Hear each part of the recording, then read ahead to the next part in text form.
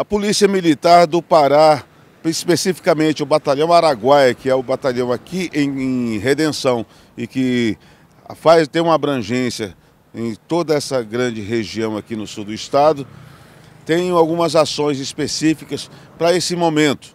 Chegando aí a 25ª Expo Polo Carajás, a Feira Agropecuária de Agronegócios, aqui Redenção, de grande porte, uma festa de vulto nacional e logo em seguida temos aí também o período de veraneio. Conversamos com o Tenente Coronel Alves, que é o comandante aqui do Batalhão Araguaia, do 7 Batalhão de Polícia Militar dessa região, e ele nos passou algumas informações. Ah, existe hoje um trabalho específico, nós temos aqui aproximando a 25ª Expo Polo Carajás, que é uma feira agropecuária de grande porte. Existe alguma ação específica sendo preparada para esse período agora? Sim, a gente vai atuar é, na área externa do evento né, e a fim de proporcionar à população que vai frequentar o evento a segurança necessária. É um evento de grande porte, é, tendo em vista que nos últimos dois anos a gente não teve esse evento na cidade, então vai atrair muita gente, como você falou, da região, né, dos municípios, é, dos distritos vizinhos para cá. E a gente já prevendo essa situação, já está planejando é, um policiamento condizente com, com esse público que vai vir para cá. Então a gente está preparando toda uma, uma estratégia de policiamento né, para que as pessoas possam curtir sem se preocupar com é, é, é serem vítimas de determinados delitos.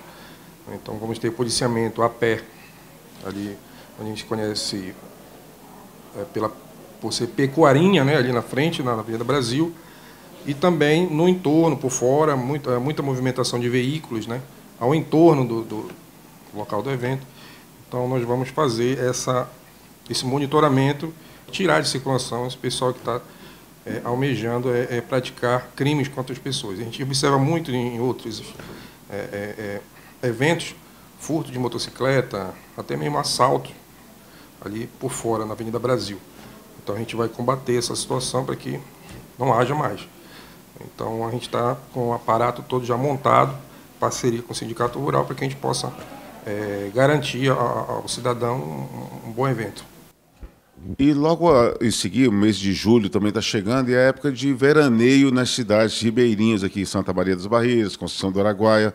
O batalhão Araguaia aqui, ele tem alguma ação específica para quem fica na cidade, para as casas que ficam, às vezes, vazias na cidade por um período mais prolongado, né? Existe alguma ação também específica sendo preparada? Sim, a gente vai intensificar também o policiamento, já avisando essa questão. Muita gente viaja né, e deixa suas casas né, de vizinhos e tal. Então, é uma recomendação nossa, se a pessoa tiver uma pessoa de confiança que mora lá, para pedir para olhar e tal, é importante.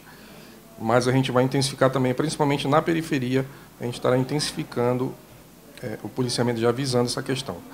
Né, e orientar as pessoas né, que tomem os devidos cuidados quando forem é, é, para os balneários, é, né, de deixar alguém sempre é, é, da família ou então amigo né, de confiança para que possa estar passando na sua residência, verificar se está tudo ok.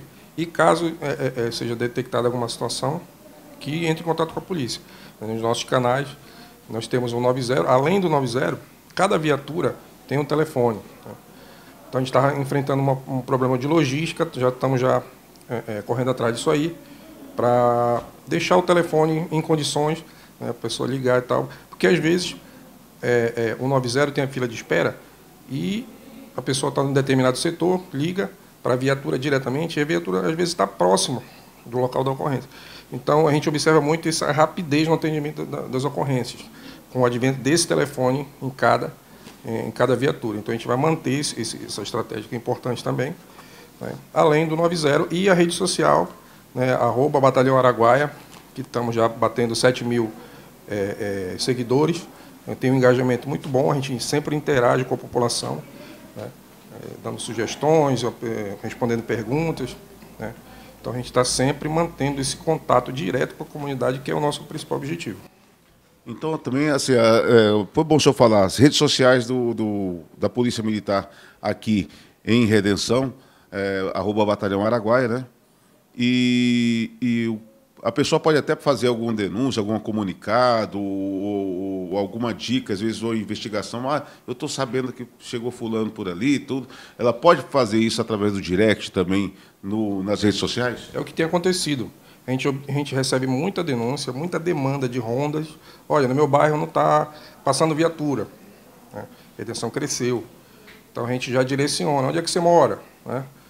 É, onde é que você mora? Pegamos o endereço, o perímetro, e a gente procura dar a resposta no Stories. Estão passando aqui na sua rua. Tal. Então, essa interação é importante. A gente faz isso aí, esse trabalho. Denúncias, pode é, ficar tranquilo que a gente não vai divulgar quem denunciou, né? e vai trabalhar as informações que são repassadas, como tem acontecido. Né? Isso que você falou é, é verdade. O pessoal passa, denúncia mesmo reclamações, a gente não quer só elogio, não quer só demanda, quer que sejam apontadas as falhas para que a gente possa trabalhar e assim entregar um, um, um serviço de melhor qualidade para a população. Esse que é nosso, esse é o principal objetivo nosso. As suas palavras finais aí, uma recomendação para a população de Redenção, para os telespectadores do canal 17 Rede TV. Que conte com a Polícia Militar a gente nunca espera né, que, que se precise da Polícia Militar, que chegue a esse ponto né, de chegar.